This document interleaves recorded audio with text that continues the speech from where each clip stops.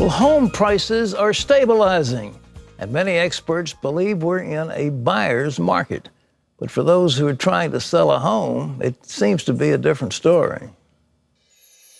In today's real estate market, finding a home that is both affordable and in a good area can be incredibly difficult. If you're interested in home ownership or in selling your home, understanding the real estate market is key.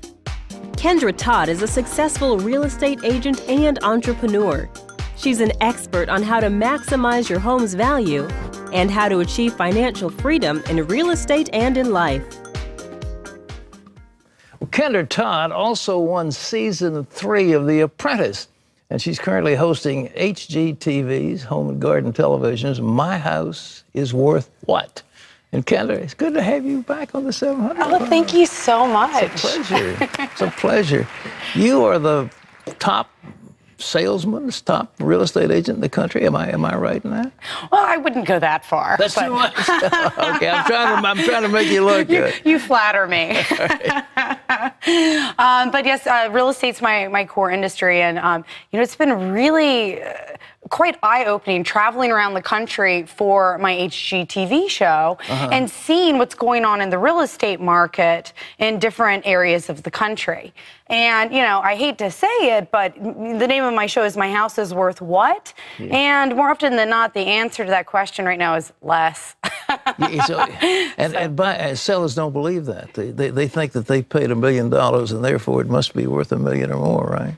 I, I really think that uh, sellers are starting to become a lot more realistic in, in their perspective yeah. uh, of what their home is actually worth. And, and also with, you know, foreclosure rates being as high as they are. Mm-hmm. Uh, you know, people are not you know, able to just hold on to that pie in the sky number they want to get for their home. They're having to, you know, lower it mm. back to realistic prices. How about buyers? You'd think there are just huge amounts of deals out there at rock bottom prices. True or false? Well, not rock bottom prices. There, uh-huh. there were there there were really incredible deals uh, about six to twelve months ago. Uh-huh. And in certain markets, you still can buy a property for below replacement cost in some of the harder hit areas like mm-hmm. Florida, California, Vegas, Arizona, yeah. because they have the highest foreclosure rates in the country. There are some great deals, but I think that. Um, what buyers are now realizing is that they cannot go out in most markets and just give a lowball offer and, and get a, an incredible steal of a deal. Mm. Uh, you know, prices are not as low as they, they used to be. The market is hitting a bottom in some areas, which is really yeah. nice. Yeah. Uh, what about The Apprentice? You, you scored on that one and wound up decorating a, million and a hundred and twenty-five million dollar house. What, what, what happened with you and the Donald?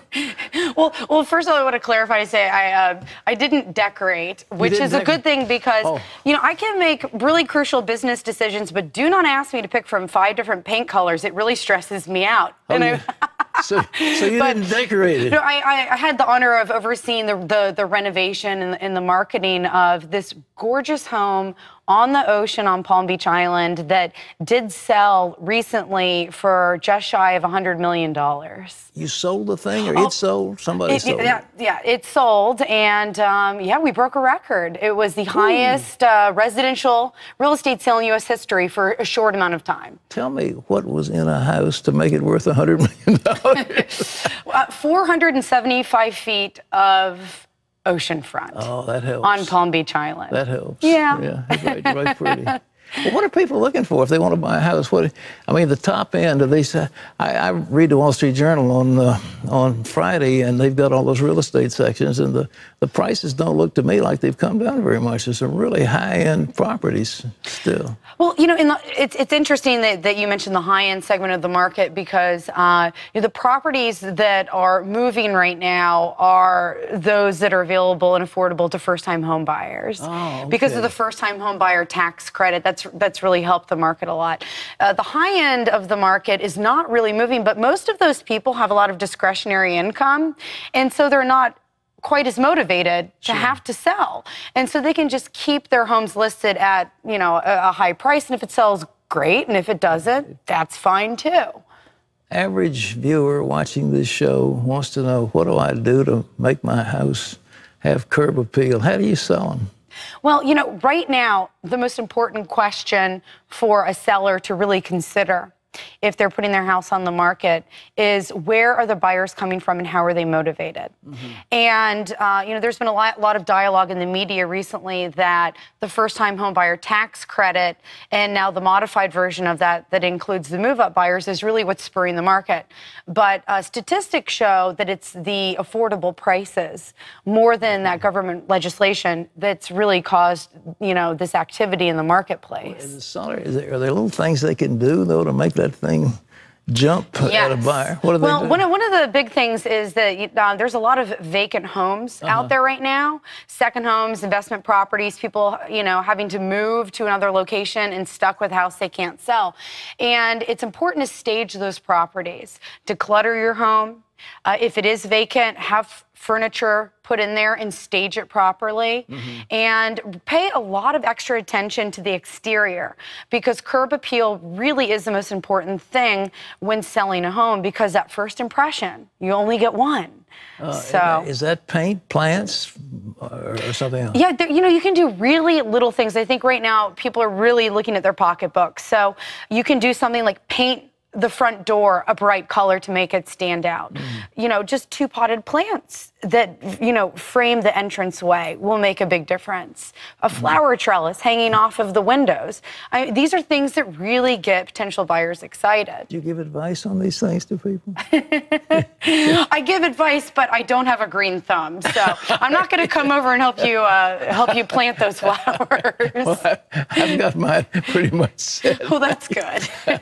that's well, what do you, where do you think that uh, uh, real estate's going in this country? Uh, are we going to come out of this thing from what you've seen across the country, or is it going to still go down? Uh, we it still is far, farther to fall, uh, certainly in, in mm-hmm. many areas of the country, because even though the the recession is, ended midsummer, uh, foreclosures are still on the rise. Uh, the mm-hmm. numbers that came out recently showed that one in seven households in the United States yeah. with a mortgage is either in foreclosure or is behind on their payments.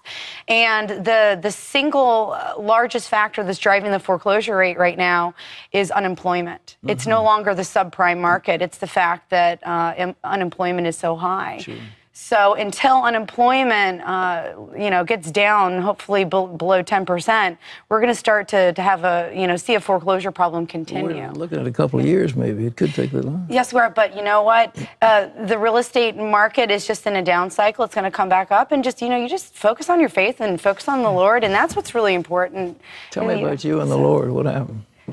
Well, the fact that I just love him so much is number one. He's yeah. like. Uh, he just impacts everything that I do.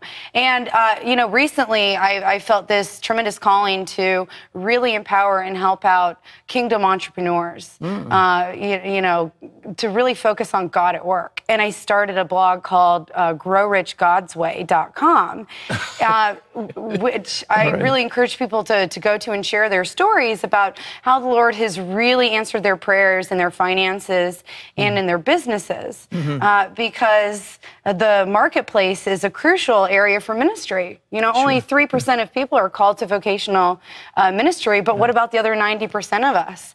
And, uh, you know, it's an honored position to be in to be able to um, have profitable businesses yeah. uh, that we can use to help fund the kingdom and glorify God. Well, I'm, I'm all for you. well, Senator, you're terrific. God bless you. Thank, Thank you for you. being here. Well, if you want to know more about Kendra Todd, she's got a new website called Get Rich God's Way. you can get a link on that uh, on CBN.com. And she also is the host of How Home and Garden or HGTV's My House is Worth What? Check your local listings for air date, and you can see more about Kendra. Thank you so much for being Thank here. You. Appreciate it. Okay, Kristi, what do you got next? Uh,